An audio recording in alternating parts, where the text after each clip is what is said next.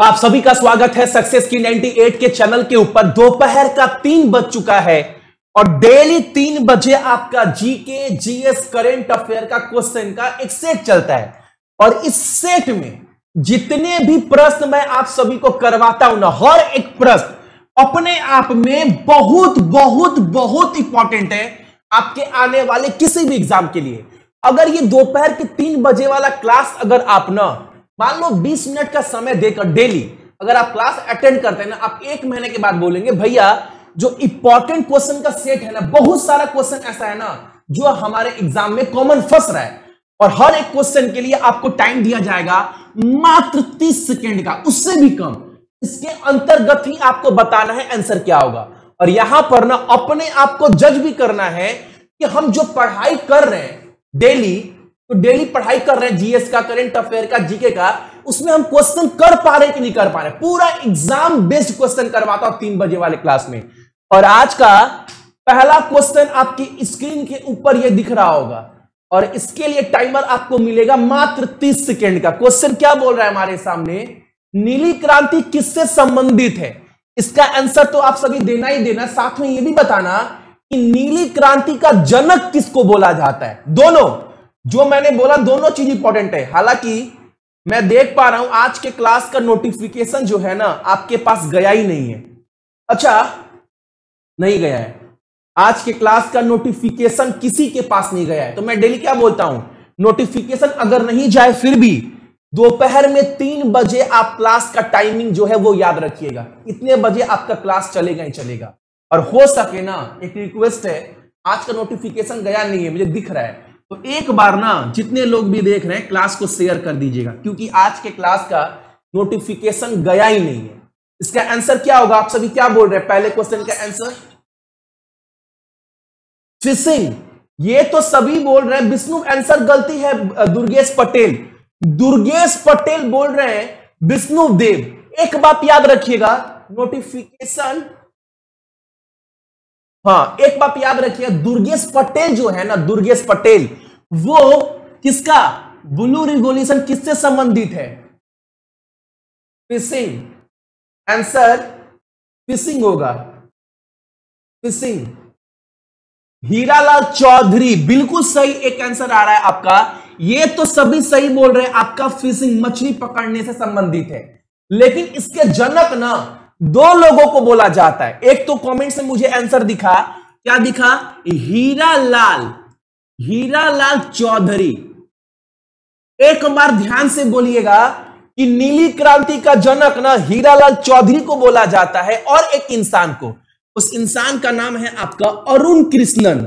एकदम, आप ये मत सोचना ना इस क्वेश्चन में कि इसका आंसर सही दे दिए, काम बन गया। एग्ज़ाम में अधिकांश आपसे ये भी पूछता है कि नीली क्रांति के जनक किसको बोलते तो एक बार दिमाग में बोल दो, हीरालाल चौधरी और अरुण कृष्णन। हीरालाल चौधरी और अरुण कृष्णन, ठीक है? अगला क्वेश्चन हमारे सामने क्या बोला है? एक बार ध्यान से पढ़िएगा।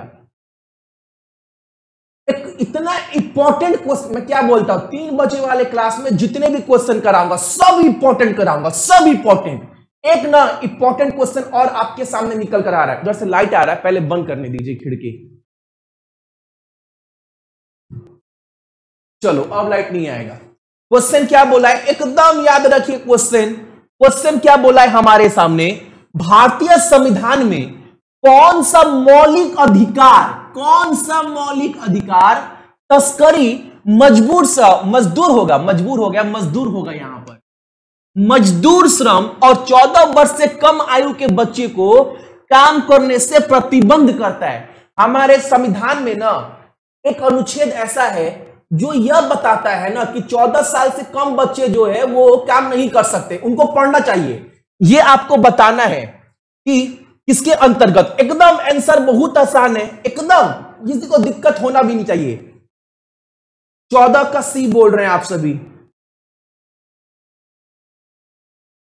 एकदम। एक बात याद रखिएगा, जितने लोग भी देख रहे हैं ना, इसका आंसर अधिकांश सही आ रहा है। और वो आंसर बिल्कुल सही है आपका। क्या? ऑप्शन नंबर आपका सी। सभी बोल रहे हैं शोषण के विरोध अधिकार, आर्टिकल तेईस, क्या बात है भाई? यहाँ पर अनुच्छेद भी बोल दिया गया आपका। अनुच्छेद भी बता दिया गया एक एक जन की तरह। कितना अनुच्छेद के अंतर्गत आता है? तो 23 से 24 अनुच्छेद के अंतर्गत है। अच्छा समानता का अधिकार जो है, वो किस अनुच्छेद के अंतर्गत है भैया? ये बताइए। तो ये ना 14 से 18 अनुच्छेद के अंतर्गत है। अच्छा भैया, अब ये थोड़ा बताइए, स्वतंत्रता का अधिकार ये किस अनुच्छेद के अंदर है? तो ये भी लिख लीजिएगा आप सभी 19 से 22 के अंतर्गत है। कितना से अंतर्गत है? तो 19 से 22 के अंतर्गत है। ठीक है? अच्छा भैया, हमें यह बता दीजिए ना, धर्म की स्वतंत्रता का अधिकार किस, कितने अंतर्गत? तो यह है आपका 25 से 28 के अंतर्गत। एकदम! एकदम दिमाग में रट्टा मार लेना। ये नहीं ना, मैं आपको क्वेश्चन रटवाने नहीं ला रहा हूँ कि डेली आकर रट लो मेरे साथ। आप एक बार समझिए, आप अनुच्छेद देखिए और आपको एक बात और बता दे रहे हैं। काफ़ी बार बताया है, मौलिक अधिकार जो है तो कितने से कितने अनुच्छेद के अंतर्गत है? तो 12 से 35 के अंतर्गत है। और जो मौलिक अधिकार है, यह किस देश से लिया गया है किस देश से लेकर अपने संविधान में डाला गया मौलिक अधिकार फंडामेंटल राइट तो काफ़ी बात बताए हैं अमेरिका से। और ये जो मौलिक अधिकार है आपका, क्या फंडामेंटल राइट या संविधान के किस भाग में आता है? तो भाग भी याद रखिएगा, भाग क्या होगा? भाग तीन के अंतर्गत आता है। देखो क्वेश्चन मात्र एक है। क्वेश्चन जो है ना, मात्र एक है आपको, लेकिन बता बहुत कुछ दिए हैं। तो सब एक बार अच्छे से आप सभी देख लेना। एकदम क्वेश्चन एग्ज़ाम में फंसता ही फंसता ये सब। अगला क्वेश्चन हमारे सामने पाँच नंबर है। और टाइमर स्टार्ट होता है आपका अब। क्वेश्चन बोला है, स्वामी विवेकानंद, हवाई अड्डा कहाँ पर स्थित है? यह आपको बताना है। हरियाणा, आंध्र प्रदेश, बिहार और छत्तीसगढ़ में। जल्दी से। एकदम बता दीजिएगा आंसर आप सभी। स्वामी विवेकानंद, हवाई अड्डा कहाँ पर स्थित है? हरियाणा में, आंध्र प्रदेश में, बिहार में या फिर आपका छत्तीसगढ़ में? 12 तो 12 से 35 यूएसए अमेरिका एकदम! कम से कम कमेंट्स भी करिएगा अपना जो भी है, क्योंकि ना उससे याद होगा। छत्तीसगढ़ सूबा जी प्रिया भट्टा, सभी सभी बोल रहे छत्तीसगढ़। यानी ऑप्शन नंबर डी छत्तीसगढ़ का राजधानी जो है ना, रायपुर, वहाँ पर ये हवाई अड्डा जो है वो स्थित है। अच्छा एक बात पूछे आप सभी से। अभी जो हवाई जहाज़। सिविल एविएशन बोलते हैं, सिविल एविएशन उस मंत्रालय को। वो मंत्रालय अभी किसके पास है? किसी को पता है? अभी नया मंत्रिमंडल का गठन हुआ है। ये सिविल एविएशन मंत्रालय किसको दिया गया है? कोई बताएगा? मध्य प्रदेश के हैं वो। क्या नाम है? बताइए। कौन मेरा भाई बताएगा कि सिविल एविएशन मंत्रालय किसके पास है? पहला आंसर का इंतज़ार कर रहे हैं।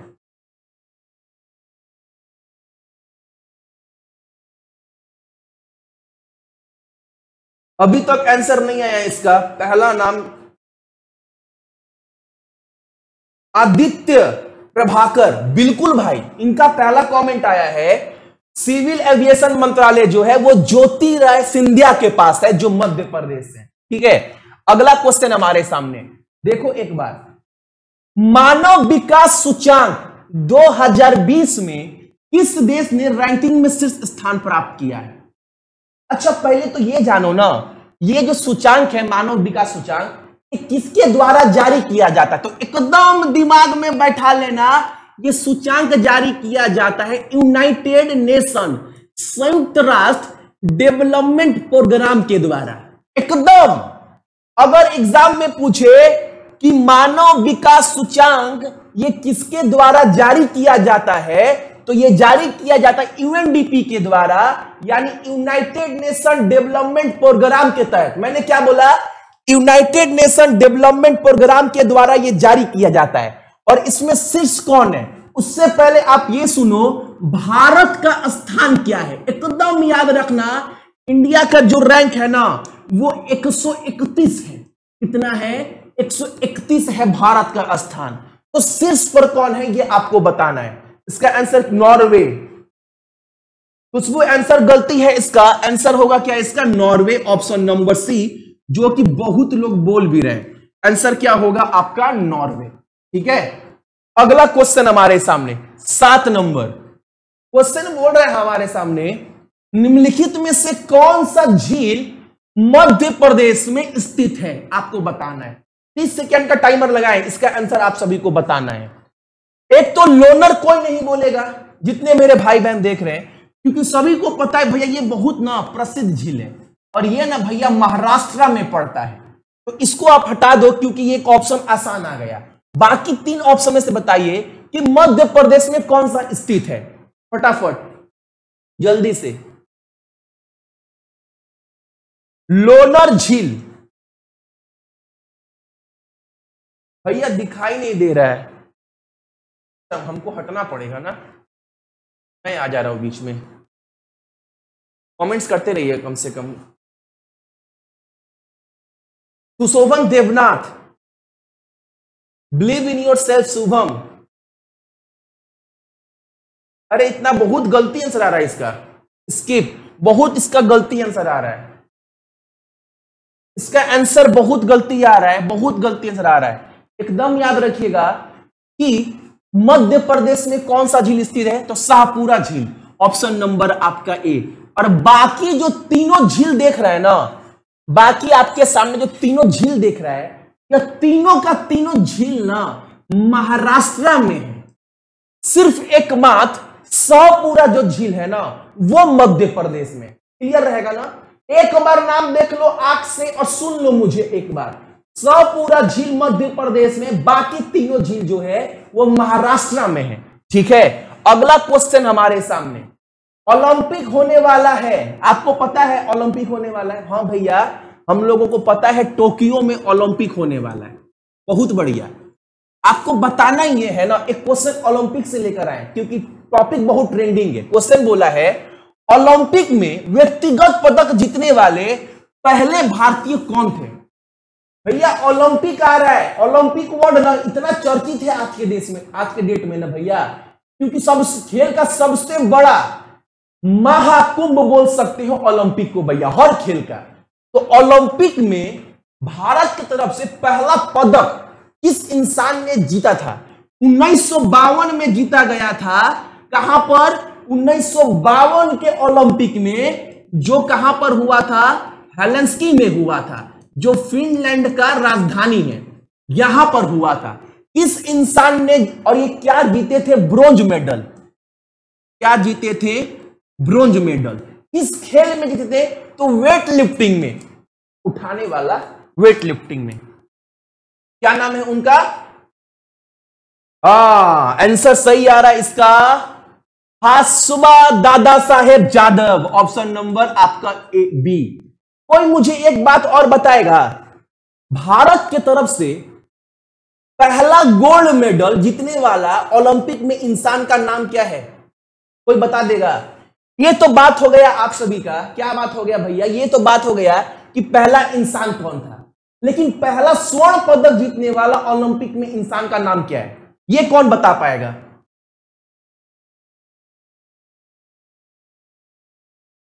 सही आंसर है, इसका नाम कोई बता पाएगा इसका आंसर जो मैंने पूछा, स्वर्ण पदक कौन जीता था?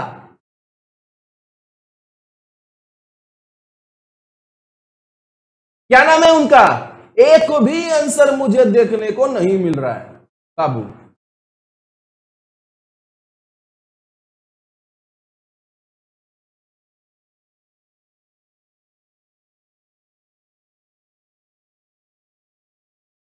बिलीव इन योर सेल्फ सुवन अभिमन्यु मुंडा दीपक कुमार मिल्का सिंह नहीं होगा। मिल्का सिंह स्वर्ण पदक जीते ही नहीं। नाम क्या होगा? बिल्कुल भाई सही नाम आप दिए हैं। अभिनव बिंद्रा। 2009 में जीते थे। स्वर्ण पदक भारत के लिए पहला। अगला क्वेश्चन हमारे सामने है। आपको बताना क्या है क्वेश्चन में? देख लो अच्छे से। एकदम एग्ज़ाम बेस्ड क्वेश्चन करवा रहे तीन बजे वाले क्लास में। क्वेश्चन बोला है आप सभी को बरडोली सत्याग्रह आंदोलन का लीड कौन कर रहा था? इसको हेड कौन कर रहा था? बताइए आप सभी जितने लोग भी देख रहे हैं। फटाफट। बरडोली सत्याग्रह आंदोलन को कौन लीड कर रहा था भाई? क्या नाम है उनका?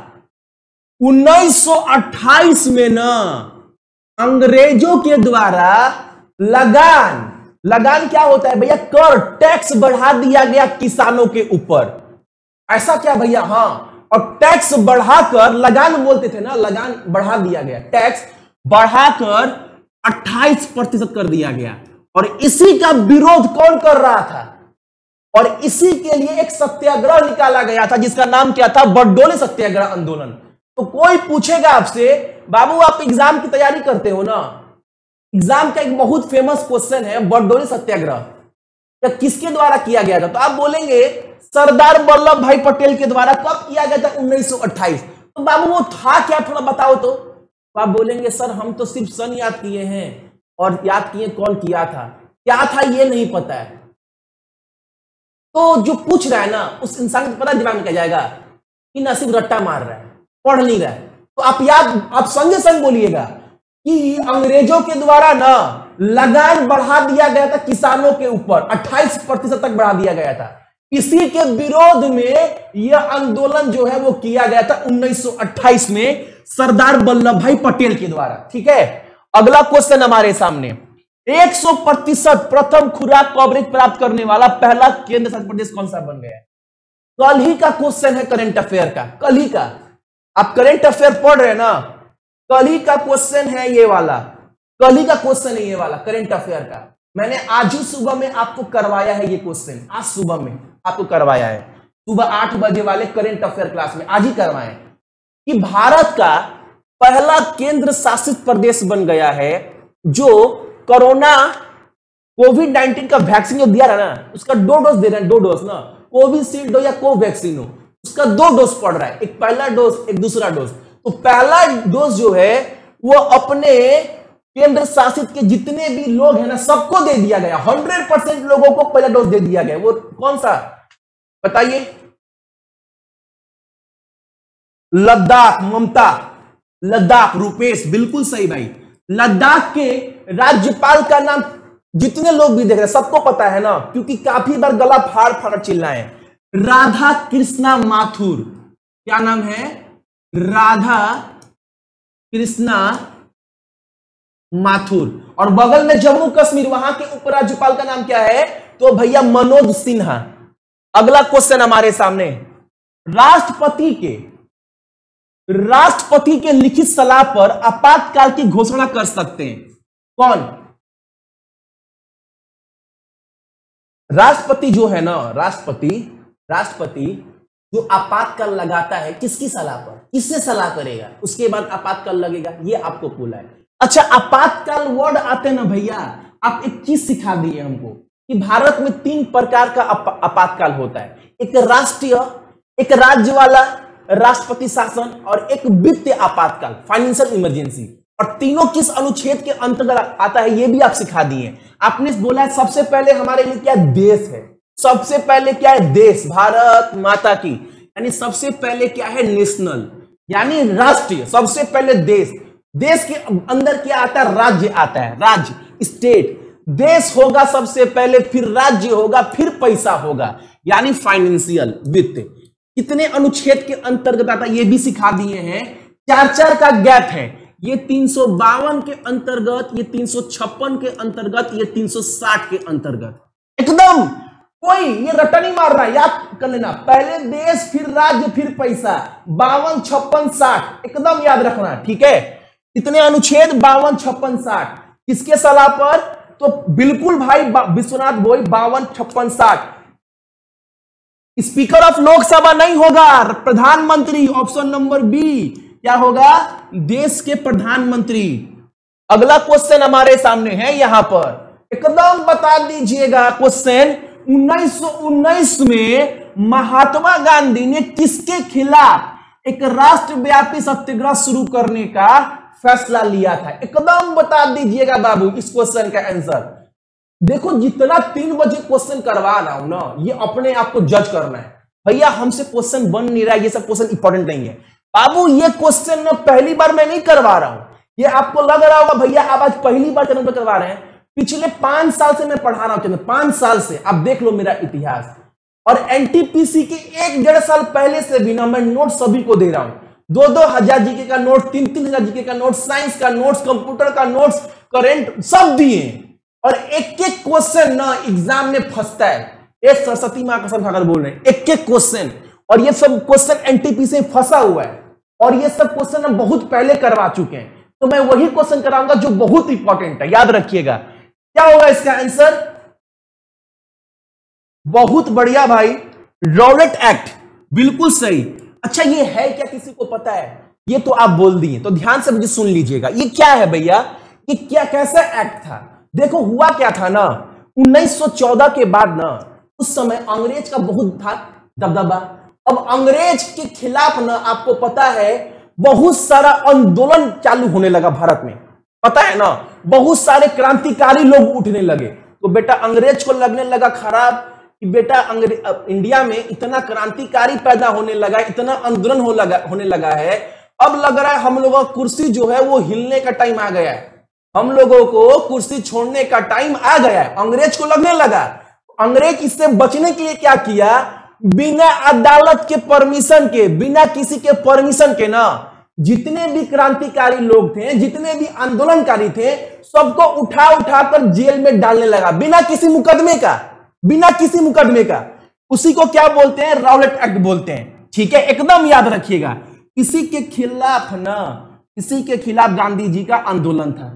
ठीक है, अगला क्वेश्चन हमारे सामने। देखो आप सभी टाइमर तीस सेकंड का ले लीजिए। निम्न में से कौन सा विटामिन खून के थक्के के लिए जिम्मेदार है? आप देखेंगे कभी बॉडी में ना कहीं चोट लग जाता है तो कभी देखिएगा लाल रंग का थक्का पड़ जाता है। आप देखे होंगे ना, उसी को बोलते हैं ब्लड क्लोटिंग क्या भैया समझ नहीं पाए। अरे कभी ठेस लग जाएगा ना, रात चल रहे कभी ठेस लग गया, या कहीं चोट लग गया, कहीं गिर गए तो खून नहीं निकलेगा। देखिएगा खून की तरह जम जाएगा उसी को बोलते हैं ब्लड क्लोटिंग वो किसकी कमी की वजह से होता है, ये आपको बताना है। आंसर क्या होगा? प्रियंका कुमारी, काला कानून। हाँ रॉलेट एक्ट को हम लोग काला कानून भी बोलते हैं, ये भी याद रखिएगा, बहुत बढ़िया। विटामिन के विटामिन के विटामिन के बिल्कुल सही। क्या? विटामिन के के कमी के वजह से। अगला क्वेश्चन हमारे सामने चौदह नंबर। बैरोग्राफ का आविष्कार किसके द्वारा किया गया था? ये क्या है भैया? बाबू, ये कुछ है नहीं। बैरोग्राफ क्या होता है? हवा का, वायु का भार नापने के लिए इस्तेमाल किया जाता है बैरोग्राफ का, ठीक है? इसका इसका आविष्कार 1844 में किसके द्वारा किया गया था? बताइए। चार सेकंड का समय बाकी है। आप समझ गए होंगे बैरोग्राफ किसको बोलते हैं? वायु का भार मापने के लिए इस्तेमाल किया जाता है। आंसर बोलो आप सभी। अरे, बड़ा आंसर इसका गलती आ रहा है।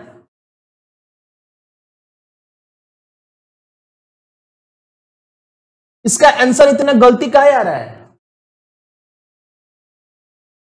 कुछ आंसर इसका सही आ रहा है, बाकी आंसर से गलती आ रहा है। एकदम याद रखिएगा लुसन वीडी ऑप्शन नंबर ए होगा। इस क्वेश्चन का आंसर अधिकांश गलती आ रहा है। एकदम ऑप्शन नंबर ए होगा। देखो, आराम से देखो, इसको पूरा लाल रंग का क्या लगा दिए टिकुली। नाम याद रखिएगा। बिंदी। अगला क्वेश्चन हमारे सामने। सेटेलाइट किसका एक अयस्क या फिर खनिज है? ये आपको बताना है, जल्दी से। फटाफट, मरकरी का, मोलबेडनम का, या फिर सिल्वर का, या फिर आपका जिंक का। जल्दी से। एकदम आंसर अच्छा कभी कभार आप जो पढ़ते हैं जीके जीएस करंट अफेयर अब बस क्वेश्चन को पढ़ते हैं क्या? अगर मैं सिर्फ़ क्वेश्चन करा कर निकलू ना, दस मिनट भी हमको नहीं लगेगा क्लास एड लेने में। दस मिनट भी नहीं लगेगा। लेकिन मैं बोलता हूँ ना, आप भी ना मेरे जैसा पढ़िए, एकदम। कोई भी क्वेश्चन है उसके हर ऑप्शन के बारे में जो पढ़ने लायक है, वो पढ़िए। जैसे आपको बोला जाएगा मरकरी का एटॉमिक नंबर क्या है? तो बोलिएगा, भैया, अस्सी है। इसका क्या है? बयालीस। सिल्वर कितने पर आता है तो बच्चे बचपन से पढ़ते आ रहे सैतालीस पर। जिंक कितने पर आता है तो भैया तीस पर आता है। ये सब ना चीज़ याद रखना। भाई, जो ग्रुप डी का एग्ज़ाम देने जा रहा है ना, मैं ना बोल रहा हूँ ना, आप टाइम निकालकर एक से पचास तक रट्टा मार लीजिए। एटॉमिक नंबर एकदम। अगर मैं बोलू यूरेनियम कितने पर आता है तो बानवे पे। एकदम दिमाग में बैठा लो बाबू। हाइड्रोजन ऐसे डेली पढ़ो आप सभी। कम से कम एग्ज़ाम में क्वेश्चन फंसेगा। इसका आंसर क्या होगा? कहाँ गया क्वेश्चन यार? जिंक होगा, जिंक, मरकरी का है बोल रहे हैं? जिंक होगा, जिंक। इसका आंसर जिंक होगा बाबू, इसका आंसर जिंक होगा जिंक होगा, जिंक। जिंक होगा आंसर आंसर गलती आ रहा है इसका। अगला क्वेश्चन हमारे सामने। दुनिया का सबसे ऊँचा रेत महल कहाँ पर बनाया गया? है करेंट अफेयर अगर सुबह में उठकर आप पढ़ रहे हैं ना तो ये सब का आंसर आपको देना चाहिए। क्यों देंगे हम करंट अफेयर क्वेश्चन आप एक साल पुराना पूछेंगे तो हम दे देंगे क्या? एक साल पुराना नहीं, एक दो दिन पहले का है।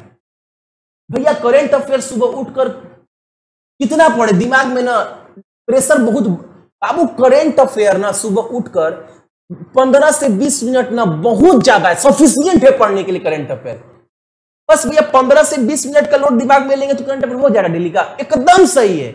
आप कोई भी टीचर को देख लो, कोई भी टीचर को, सभी लाजवाब पढ़ाते हैं। कोई भी टीचर कितना क्वेश्चन आपको कराता करंट अफेयर का? भैया, दस से ग्यारह क्वेश्चन ही होता करंट अफेयर का। तो दस से ग्यारह क्वेश्चन को पढ़ने में टाइम कितना लगेगा? डेढ़ घंटा का, एक घंटे का। तो सुबह उठकर करंट अफेयर का काम ही इतना है कि हमको दस मिनट पढ़ो डेली एक महीना करंट अफेयर दस मिनट डेली कवर हो जाएगा। इसका आंसर क्या होगा? डेनमार्क डेनमार्क सबसे बालू का रेत का सबसे बड़ा महल जो है, वो कहाँ बनाया गया है? डेनमार्क में बनाया गया है। अगला क्वेश्चन हमारे सामने। और टाइमर स्टार्ट होता है आपका। दामोदर घाटी निगम, भारत की पहली बहुउद्देश्य नदी घाटी परियोजना है। यह किस वर्ष में शुरू की गई थी यह आपको बताना है। जल्दी से।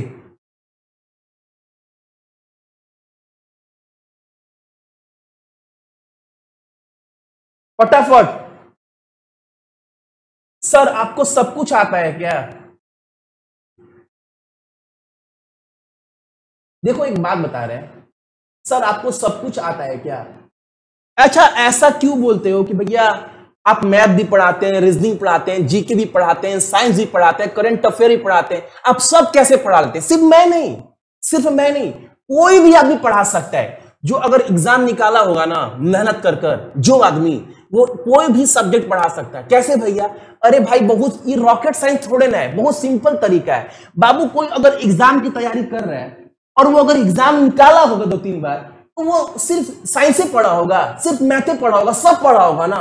वो तो सब पढ़ा होगा। तो सब पढ़कर वो एग्ज़ाम निकाला है इतने भीड़ में तो बाबू, उसको सबका ज्ञान होगा। सिर्फ़ मुझे नहीं, सबको, जो एग्ज़ाम निकाला, सबको ज्ञान होगा।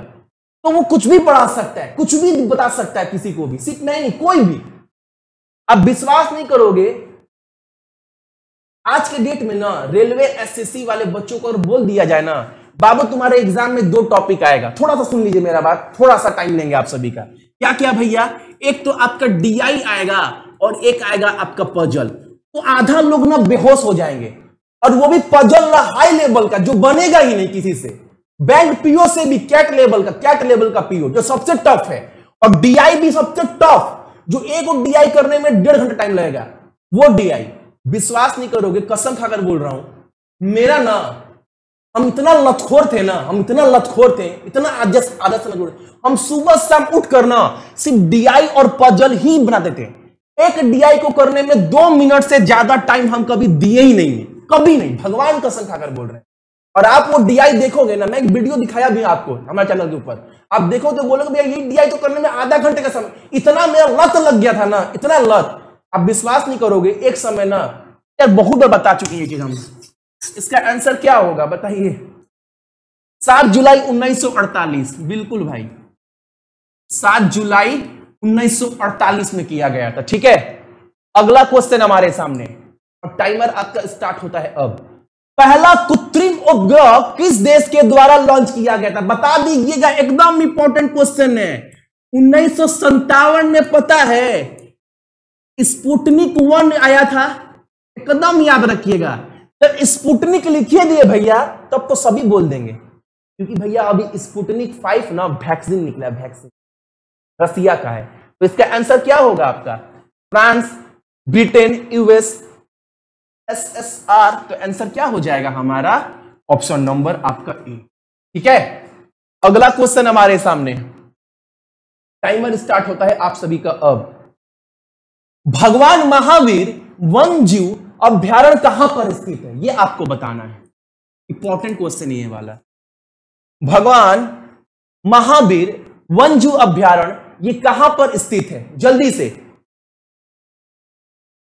भगवान महावीर वन जीव अभ्यारण कहाँ पर स्थित है? जहाँ के मुख्यमंत्री ना भैया, प्रमोद सावंत हैं। अच्छा? ये कर्नाटका का तो योदरप्पा है। पंजाब का अमन कैप्टन सिंह है।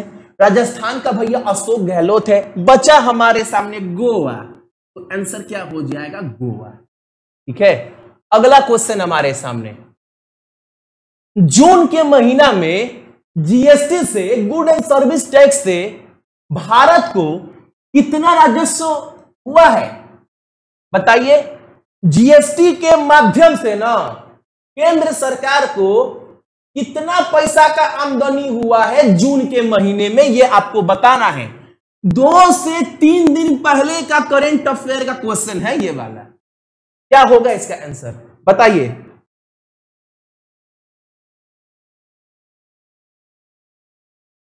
सुबाजीत गोवा, पीएस श्रीधर पिल्लाई, राज्यपाल हैं गोवा के। और कर्नाटका का थावर चंद गहलोत। इसका आंसर क्या होगा?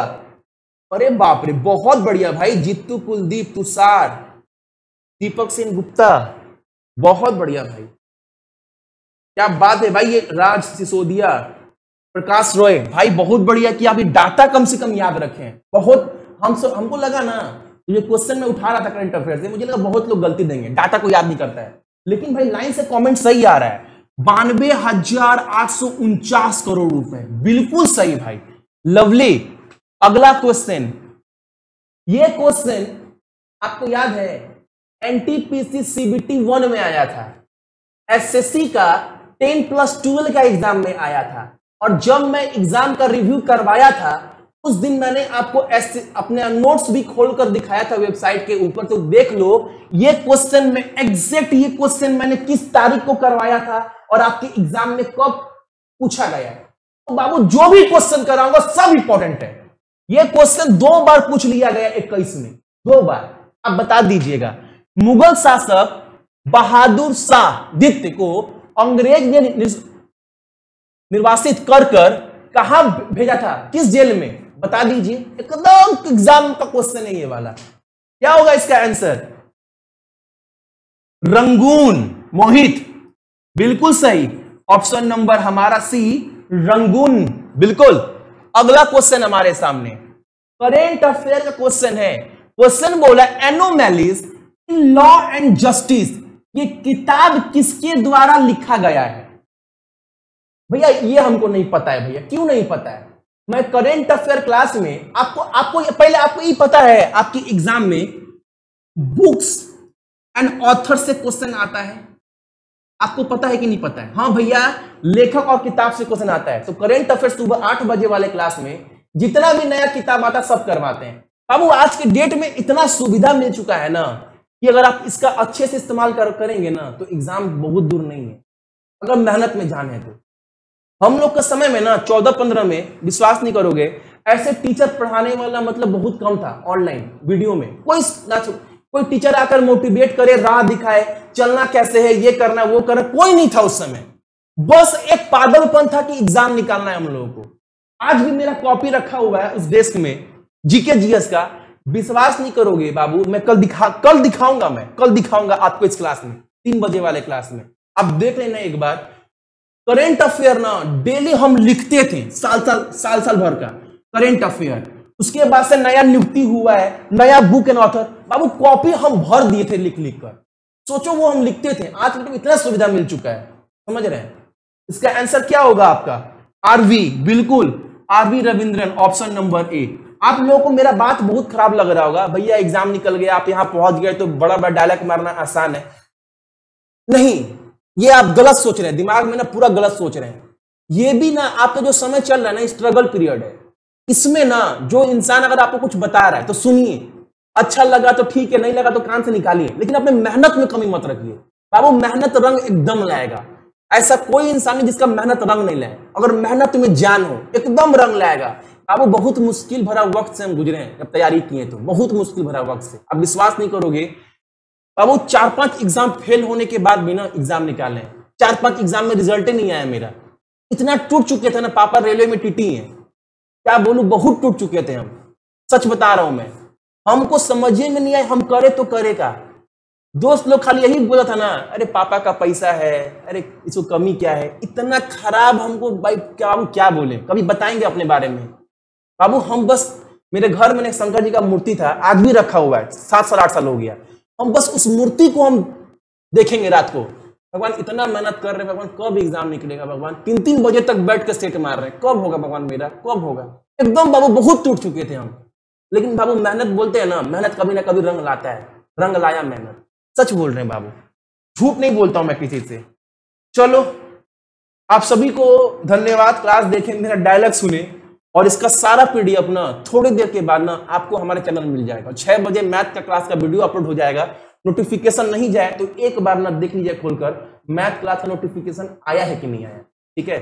थैंक यू एवरीवन अरे वो लाइक कर दीजिएगा।